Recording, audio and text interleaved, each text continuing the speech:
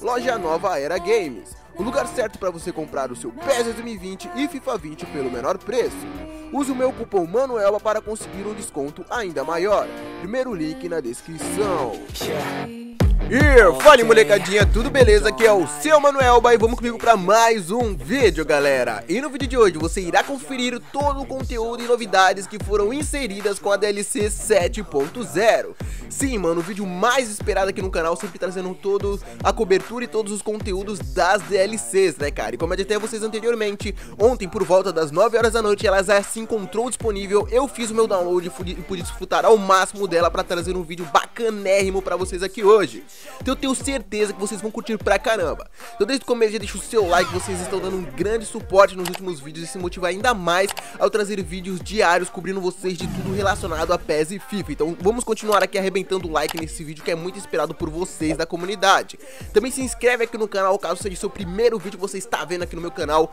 Não é inscrito, se inscreve aqui porque eu irei cobrir vocês de tudo que virá na DLC 8.0 e PES 2021 também. Todas as informações que forem saindo eu irei trazer aqui pro canal. Então vamos sem perder tempo, bora pro vídeo.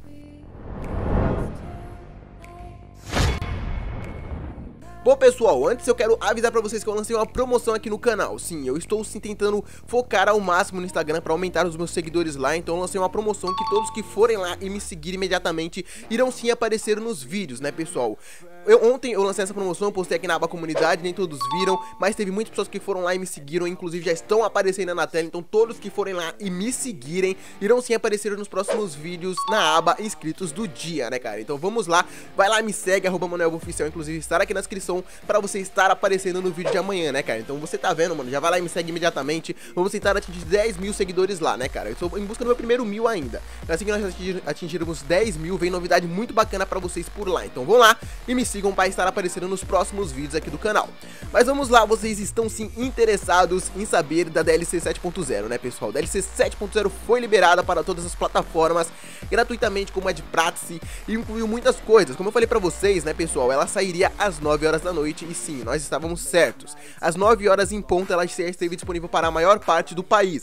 E quem acompanha os últimos vídeos aqui do canal das últimas semanas em que eu cobri todo o conteúdo da DLC 7.0, mesmo que a Konami não liberasse nada, você já sabia de tudo, né parceiro? Porque eu já trouxe todas as informações para vocês, por isso que eu não vou me aprofundar tanto no conteúdo da Eurocopa, né, pessoal? Porque sim, tivemos conteúdo para o Campeonato Brasileiro, tivemos inclusive uma nova fase para o Campeonato Brasileiro que já já eu vou falar e vou mostrar ela a vocês.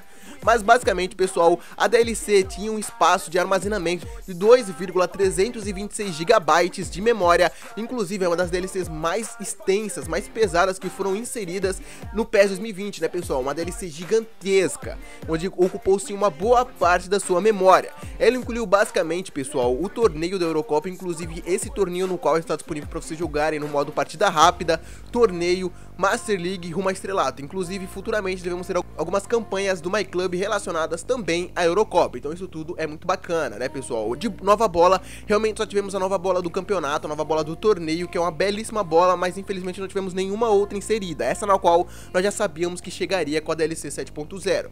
Quanto a estádios, também tivemos os dois novos estádios inseridos, o Wembley e o Zenit, dois estádios que eu já estou alertando para vocês que chegaria já há uns dois meses, e sim, os dois estádios foram inseridos. E não está apenas jogável no modo Eurocopa, mas também vocês podem jogar em qualquer outro modo do game, partida rápida, Master League e tudo mais. Então sim, dois belíssimos estádios que agora compõem o cartel do Pro Evolution Soccer.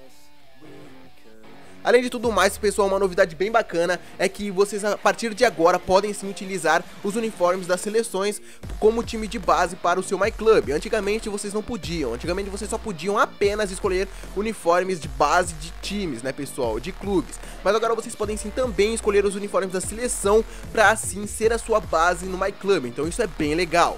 Infelizmente, como esperado, nós não tivemos atualizações nos uniformes das seleções, né, pessoal? Isso é realmente bem decepcionante. Mas claro, como eu disse vocês no vídeo de ontem, infelizmente não é culpa da Konami. Realmente eles tiveram que ser obrigados a lançar essa DLC com os uniformes totalmente desatualizados.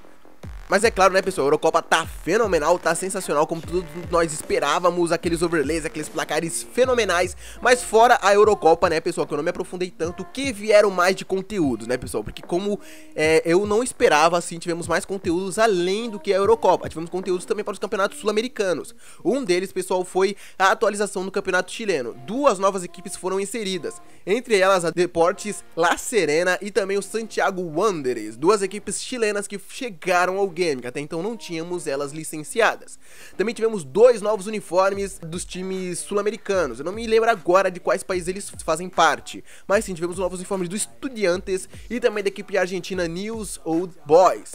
Mas é claro que não se bastou a isso, também tivemos novos uniformes para times brasileiros, né pessoal? Entre os novos uniformes que chegaram, recebemos também os novos uniformes do Palmeiras, belíssimos novos uniformes inseridos, também os novos kits do Internacional, outros que também chegaram foram os do São Paulo, né pessoal? Os do São Paulo que ficaram fenomenais. E também fora isso, também tivemos os novos uniformes do Cruzeiro, né pessoal? Mais uma equipe brasileira que recebeu sim atualizações em seus kits, que ficaram simplesmente fenomenais. Mais um também, pessoal, que só que essa foi com um pouco menos de impacto, foi a equipe do Red Bull Bragantino que também recebeu atualização nos seus kits. Além disso, pessoal, também tivemos a atualização de alguns escudos de alguns times brasileiros, e esses no, nos quais já eram muito especulados há muito tempo. Entre eles foi do Red Bull Bragantino e também do Goiás. Infelizmente, um escudo que já havia sido confirmado algumas DLCs não sofreu alteração, esse no qual é o do Atlético Goianiense. Infelizmente se manteve o mesmo escudo antigo que estava antes dessa DLC ser liberada. Quanto a faces, pessoal, recebemos um total de 137 novas faces no game, no qual vocês já estão vendo a lista completa aí na tela de todas as 137 faces inseridas. Como eu recordei para vocês anteriormente, na DLC da Eurocopa no PES 2016, recebemos por volta de 207 novas faces, né, velho? Então eu falei para vocês que nessa DLC receberíamos em média de 100 novas faces. Eu falei esse número só que eu esperava que eles fossem incluir um pouco menos, só que eles foram lá me surpreenderam e incluíram 137. Apesar da maioria dessas essas faces fazerem parte de lendas e também de jogadores não tão populares, né pessoal, como eu adiantei a vocês, eles iriam focar realmente nas faces de jogadores que iriam disputar a Eurocopa, então a maioria desses jogadores possivelmente você nem conhece, né mano, mas só que são faces fenomenais, mas tem uma delas que é muito pedida há muito tempo, sim pessoal, recebemos a nova face do goleirão do Cruzeiro, Fábio, Fábio recebeu uma nova face que ficou simplesmente sensacional. Essa face na qual era pedida há muitos anos. Se não me engano, não era atualizada desde o PES 2012. E enfim recebeu uma atualização. Embora ela esteja praticamente perfeita, né, pessoal? Não foi feita por base de um escaneamento. Então eles não escanearam o goleiro Fábio. Eles simplesmente fizeram através do desenho 3D. Que convenhamos, fica tão bom quanto um escaneamento. Além disso, pessoal, além dos nos novos uniformes brasileiros que eu citei para vocês, né, pessoal, que chegaram, também chegaram alguns novos kits, no, nos quais vocês estão vendo a lista completaça aí na tela. Então fica de olho na lista de todos os novos uniformes que foram inseridos. Algumas seleções, alguns clubes, então dá um pause aí na sua tela para você conseguir conferir com mais detalhes.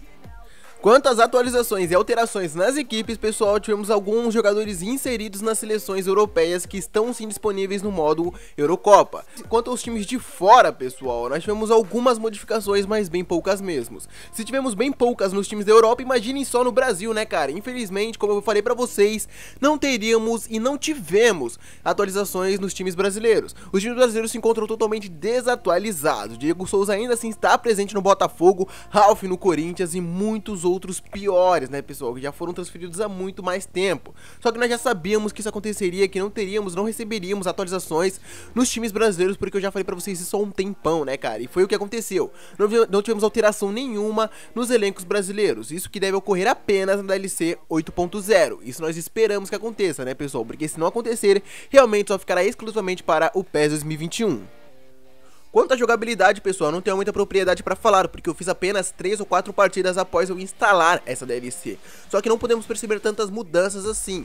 Em termos de jogabilidade, podemos perceber que ela está um pouco mais cadenciada do que já estava anteriormente, um pouco menos de correria e jogadores um tanto quanto mais pesados. Também tem gente que diz que a CPU está um tanto quanto mais inteligente na formulação de suas jogadas e também na defesa adversária, né, pessoal? Eles estão conseguindo ser mais compactos. E quando a defesa da, quando a defesa adversária é melhorada, a sua automaticamente também, né, pessoal? Porque vocês controlam um jogador e o resto é totalmente controlado pela CPU. Então tudo está mais compacto e vocês percebem menos erro, menos trombadas e menos aqueles bugs escrotos que aconteciam. Mas isso com um pouco menos de impacto. Não percebem tantas diferenças assim quanto as DLCs que anteriormente foram liberadas.